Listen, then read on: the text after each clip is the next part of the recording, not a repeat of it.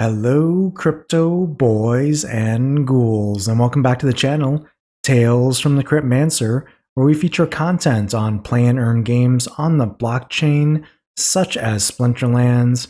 And in today's video, I wanted to share a clip from last week's Splinterlands TV, where the question came up around buying land, and is now perhaps a good time to look at buying land, or is perhaps the future a better time. And we discussed the topic. And the reason why I wanted to publish this video today is because while the Land 1.5 white paper is probably going to drop within the next 24 to 48 hours, and it's going to have significant, well, knowledge drop to all the player base on what land means and what it could mean moving forward. And as such, the price of land, depending on what's in that white paper, could be drastically different once it drops. It could be a lot higher or it could be a lot lower, and we'll have to see.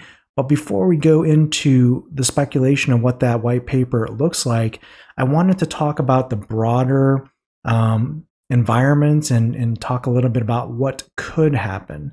Uh, that being said, this is just a discussion, it is not financial advice. Obviously, do your own research.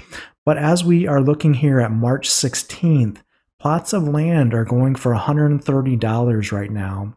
And it'll be interesting to see uh, if we use that as kind of the measuring point, you know, what land looks like after the white paper drops and what land looks like after surveying happens and actually earning of rewards starts happening actively with surveyed land. So let's hop into the Splinterlands TV clip where we talk all about this topic. And until next time, keep stacking those stats. What is the best way for a player new to the game do regarding land? Many of us were not around during the pre-sale of land. How would you play it if you entered the game recently? Another great question, Solving Chaos. So thank you for that question. Again, not financial advice, but my thought is is if you don't own land today, uh, don't buy land right now. Wait right now until surveying happens. And I believe that once surveying happens, people with regions and tracts may be inclined to dump stuff that they don't see as being useful to them currently in the near term or being too much of an expense and they see it as a liability essentially on the books.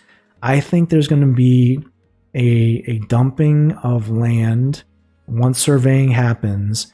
And I think you're going to be able to get some great deals on land at that time if you don't own land. And that's the time to strike, honestly, in my mind.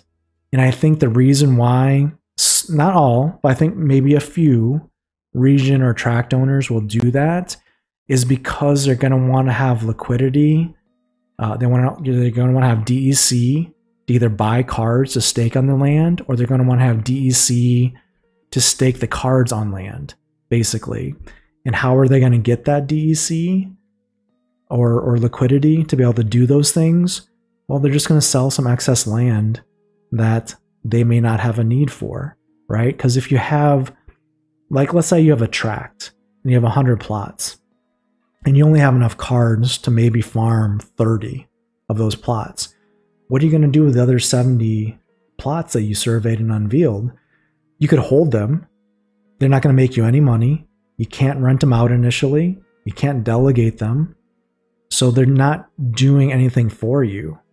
So I think some people are not going to be patient. They're going to say, hey, I need liquidity. I need DEC. I need cards. And they're just going to let stuff go at prices that are favorable to buyers. So that's my advice. I think uh, I think it's possible that happens, and if so, be ready for it. Be ready for when surveying happens to uh, buy some stuff on the non-card market that suits your fancy.